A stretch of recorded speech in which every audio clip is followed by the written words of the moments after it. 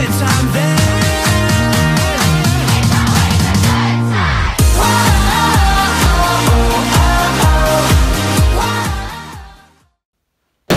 Wake up. We know what you did to Jimmy. What? Where am I? Who's Jimmy? Don't give me that. You know exactly what I'm talking about. How could you? How could you do it to Jimmy?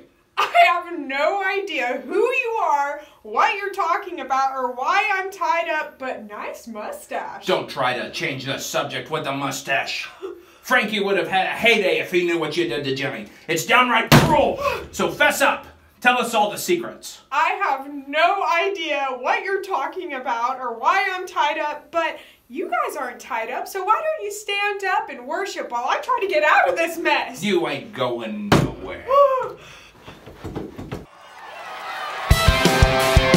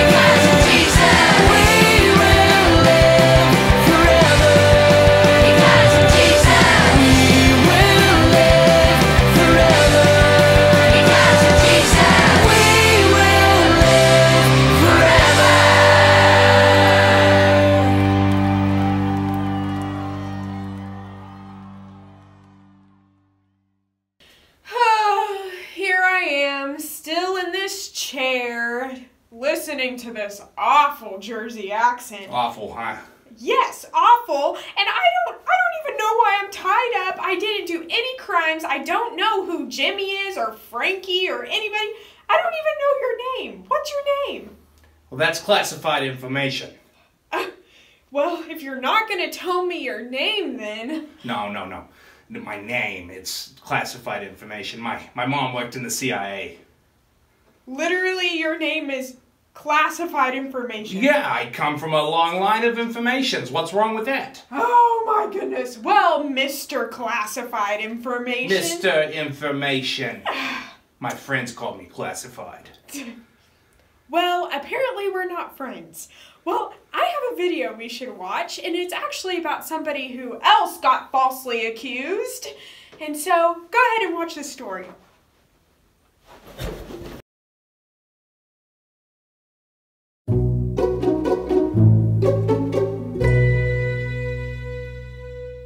The religious leaders heard Jesus teaching in Jerusalem, and they decided to ask tricky questions to catch him saying something wrong. They sent men to Jesus. The men said, Teacher, we know you tell the truth. Is it right to pay taxes to Caesar or not? Jesus knew what they were doing. Why are you trying to trick me? He asked. Show me the coin you used to pay the taxes. The men brought him a denarius.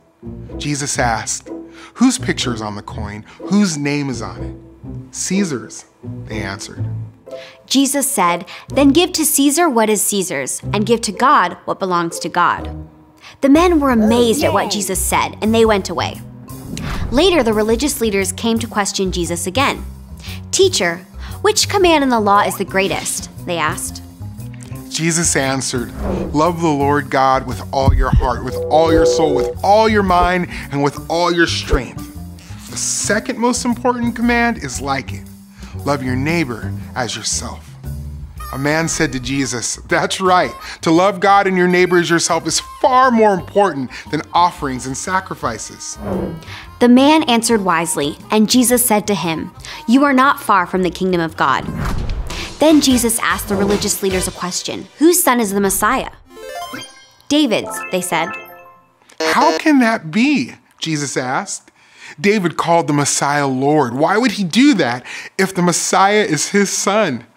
The religious leaders did not know what to say.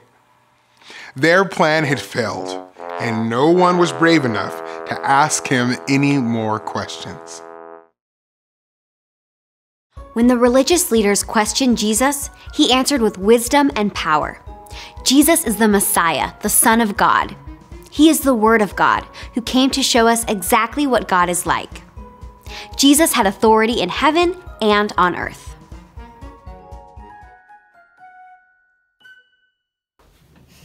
You know, Jesus was falsely accused too.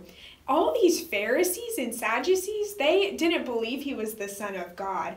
But instead of acting all defensive like me right now, me right now, Jesus actually spoke with wisdom and power. And he said, No, I am the Son of God. He believed in who God said he was, and that is the Son of God, the one to save us from our sin and to give us a future and a hope. And so, you know, Jesus believed in who he said he was, and he was innocent. And I'm telling you, I am innocent. So let me Oh, go. hold on a second. Hold on. What, what's that? Wait. Jimmy's alive? Oh, hi, Jimmy. Anyway, listen. Who was he talking to? Listen. Don't worry about that. That's classified information. Your name is classified information. That's also classified information. So listen. Even though Jimmy's alive, I'm still gonna have my people watching you. Oh, that's comforting.